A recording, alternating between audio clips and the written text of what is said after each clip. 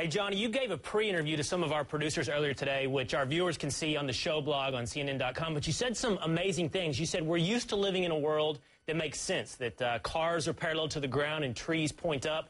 Your world right now is very different from that. Tell us, tell us about it. The scope of the disaster is is epic. It's really hard to get your head around.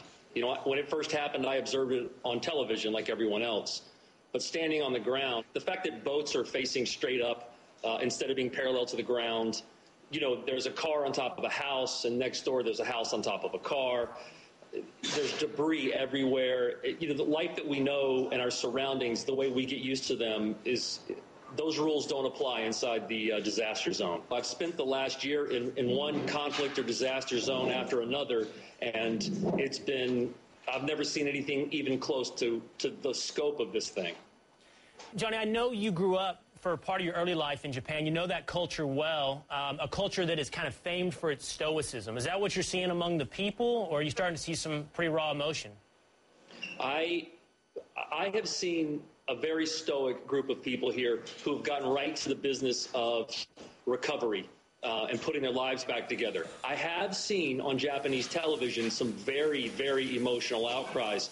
But when I'm in the operational environment, and working and making relationships with people on the ground. They're open. They, they let me into their lives. they will even joke around with me.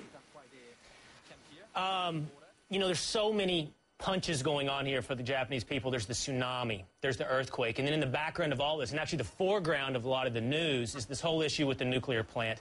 How much is that playing a role in the Japanese people's mind? Fear of radiation? It's predominant. It's everywhere. The Japanese have a long history with radiation, as you know.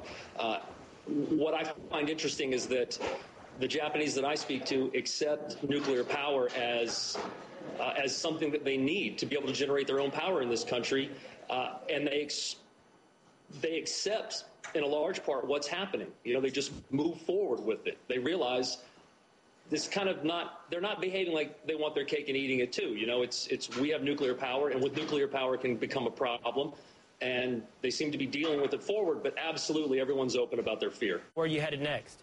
I am now traveling with two Japanese university students who have dedicated themselves to helping me tell stories and are working around the clock. We've had very little sleep, but we are currently heading to the city hall in Sendai where the U.S. Embassy are sending buses. Well, you have recorded some great stories. You've got some great images there on CNN's iReport. Appreciate what you're doing, and thanks for taking some time to talk to me. Hey, thanks for having me. I'll talk to you soon.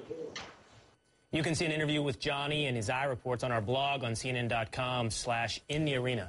Elliot?